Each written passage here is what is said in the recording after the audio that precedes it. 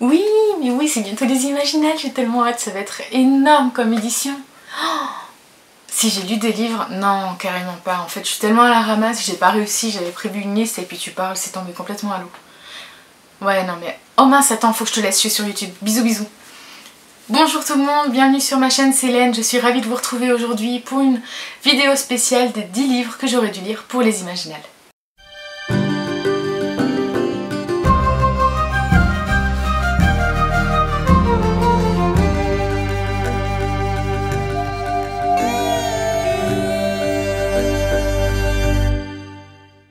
Le Roi Sombre d'Oren Miller, publié chez L'Homme sans nom. Il s'agit d'un one-shot, un roman unique qui rappelle fortement apparemment le conte de Monte Cristo, sauf que ça va se passer dans un univers de science-fiction sur une planète étrangère, forcément sur une autre planète. Et il y a apparemment beaucoup d'humour, ça a l'air assez incisif, assez, euh, assez rythmé. Je suis vraiment curieuse de découvrir l'écriture d'Oren Miller et j'espère pouvoir le faire courant de cette année, à défaut de l'avoir fait pour les Imaginables. Les Neiges de l'éternel de Claire Crost, publié chez ActuSF. C'est un recueil de nouvelles dans lequel on va suivre 5 personnages qui vont nous raconter leur histoire et surtout la déchéance d'une famille noble dans un Japon féodal. Nos âmes jumelles de Samantha Bailly, publié chez Rajo. Donc le premier tome euh, qui est sorti l'année dernière, la suite est sortie récemment, s'appelle Nos âmes rebelles. Il s'agit de l'histoire d'amitié entre deux nanas, une qui est écrivain, l'autre qui est illustratrice. Cette histoire est tirée de la vie de Samantha De sa belle amitié avec son amie Mia. Les derniers parfaits de Paul Béorn publiés chez Nemos dans leur collection Helios. Il s'agit là d'une course-poursuite qui va se dérouler autour de quatre fugitifs dans les pays cathares. Je suis vraiment très intriguée par l'univers dans lequel ça se déroule, surtout par rapport au pays occitan qui est très riche en histoire et j'espère que l'auteur arrivera à me transporter et à m'apprendre pas mal de choses si c'est issu de faits réels. Les épées de glace d'Olivier Gay, publié chez Brajlon. J'ai acheté ce livre lors du Salon du livre et de la presse de Montreuil en décembre 2015. Et ça reprend, en fait, c'est une réécriture de sa duologie du boucher et de la servante qui était sortie il y a quelques années chez euh, Midgard. Ce livre est magnifique, la couverture est illustrée par Magali Villeneuve. Cytheriae de Charlotte Bousquet, le tome 2 de l'archipel des Numinés.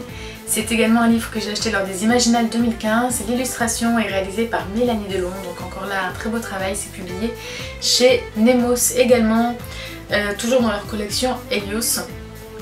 Euh, Charlotte Bousquet ici signe un roman de fantasy dans une Italie fantasmée mais assez sombre et assez dark. J'avais vraiment aimé le premier tome mais c'est vrai qu'il y avait des scènes très gore. Je suis très curieuse de lire le 2, je sais qu'il a remporté beaucoup l'unanimité auprès de copines, euh, que c'est vraiment celui qu'elle préfère et du coup je suis assez intriguée par l'histoire que va nous procurer l'auteur à travers ce tome 2. De Lionel Davout publié chez Critique, c'est un roman que j'ai acheté il y a peu de temps, il y a peut-être moins de 3 mois. J'aime beaucoup l'écriture de Lionel Davout, j'ai très envie de le découvrir dans un genre fantastique, enfin fantasy puisque je l'ai connu à travers un roman plutôt thriller. Euh, ici on va suivre l'histoire euh, d'un homme qui va travailler apparemment sur des machines magiques mais voilà il va être pris dans des complots politiques, dans des intrigues, dans une romance. Ça a l'air vraiment génial, je n'ai entendu que des avis positifs et voilà, j'espère vous en parler rapidement. La voix des oracles d'Estelle Fay publié chez Scrineo, le tome 3 vient de sortir et serait temps pour moi de démarrer enfin cette trilogie. Euh, ici, Estelle Fay nous livre une histoire mélangeant euh, mythologie de Rome et mythologie féerique. On va retrouver des faunes, des créatures, voilà, il va y avoir l'opposition entre la religion et la magie, si j'ai bien compris. J'en entends que des avis positifs, que des coups de cœur. Apparemment, c'est vraiment, vraiment, vraiment bien rythmé et très, très bien visuel. Et voilà, c'est Estelle Fay, donc en général, quand on nomme cet auteur, on sait que c'est une valeur sûre et qu'on peut y aller les yeux fermés. Le roi des fauves d'Aurélie Wallenstein, publié également chez Scrineo. Ici, on va suivre le destin de trois personnes à qui il reste 7 jours à vivre. Seulement une malédiction va leur tomber dessus, ils vont se transformer en berserkers, donc ce sont des créatures qui sont portées, poussées par la rage.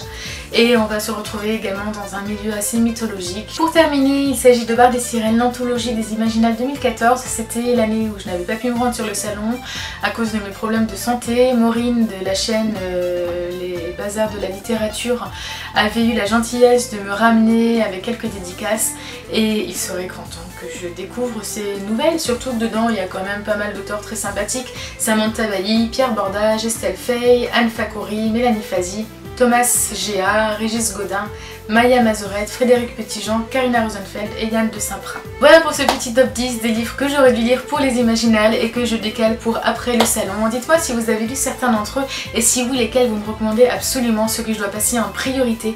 N'hésitez pas à me faire part de tout ça en commentaire, je serais vraiment ravie de suivre vos conseils et de vous en reparler du coup très prochainement dans des vidéos.